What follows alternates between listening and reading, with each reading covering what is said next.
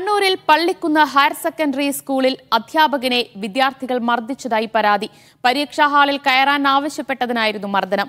Plus two വിദ്യാർത്ഥികളാണ് English അധ്യാപകനായ ഫാസിലിനെ മർദ്ദിച്ചത്.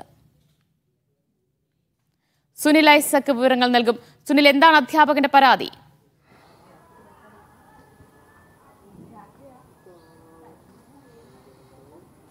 ദിവ്യ ദേശീയ അധ്യാപക ദിനമാണെന്ന്. അന്ന് തന്നെയാണ് കണ്ണൂരിൽ ഒരു സ്കൂളിൽ നിന്ന് അധ്യാപകന് വിദ്യാർത്ഥികളുടെ മർദ്ദനമേറ്റു എന്ന വാർത്ത കൂടി പുറത്തു വരുന്നത് Kannur Pallikkunnu government higher secondary സ്കൂളിൽ നിന്നാണ്.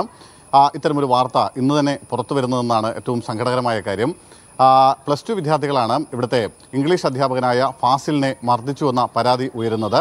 ഇന്ന് പരീക്ഷയായിരുന്നു പ്ലസ് ടു വിദ്യാർത്ഥികൾക്ക്. അതുകൊണ്ട് തന്നെ പരീക്ഷാ ഹാളിൽ എല്ലാ കുട്ടികളും കയറിയെങ്കിലും മൂന്ന് കുട്ടികൾ മാത്രം പരീക്ഷാ ഹാളിൽ കയറാൻ തയ്യാറായില്ല. ഇവർ പുറത്തു പുറത്തുകൂടി ഇങ്ങനെ ചുറ്റിക്കറങ്ങി നടക്കുകയായിരുന്നു. ഈ സമയത്ത് അവരോട് അധ്യാപകൻ പോയി പരീക്ഷാ ഹാളിൽ കയറാൻ ആവശ്യപ്പെട്ടു.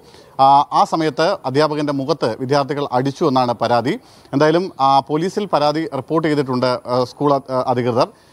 കേസ് ഇതുവരെ എടുത്തിട്ടില്ല. മാത്രമല്ല ഈ കുട്ടികൾ മൈനറാണ് പ്ലസ് ടു വിദ്യാർത്ഥികളാണ്. അതുകൊണ്ട് തന്നെ അവരുടെ പേര് വിവരങ്ങൾ പോലീസ് പുറത്തുവിടുന്നില്ല എന്തായാലും ഇത്തരം ഇത്തരമൊരു പരാതി സ്കൂൾ അധികൃതർ മുന്നോട്ട് വെച്ച് പോലീസിനെ അറിയിച്ചിട്ടുണ്ട്. പോലീസ് സ്ഥലത്തെത്തി അധ്യാപകന്റെ മൊഴി എടുത്തിട്ടുണ്ട് എന്നാണ് ലഭിക്കുന്ന വിവരം. എന്തായാലും ഒരുപക്ഷെ അധ്യാപകന്റെ പരാതിയിൽ തന്നെ ഉറച്ചു നിൽക്കുകയാണെങ്കിൽ കുട്ടികൾക്കെതിരെ കേസെടുക്കാനുള്ള സാധ്യതയുണ്ട്.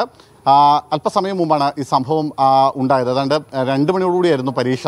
അതിന് തൊട്ട് മുമ്പാണ് ഈ വിദ്യാർത്ഥികൾ ക്ലാസ്സിൽ കയറാതിരുന്നതിനെ തുടർന്ന് അല്ലെങ്കിൽ പരീക്ഷാ ഹാളിൽ കയറാതിരുന്നതിനെ ചോദ്യം ചെയ്തതിനെ തുടർന്ന് അധ്യാപകനെ വിദ്യാർത്ഥികൾ മർദ്ദിക്കുന്ന ഒരു സംഭവം ഉണ്ടായിരിക്കുന്നത്.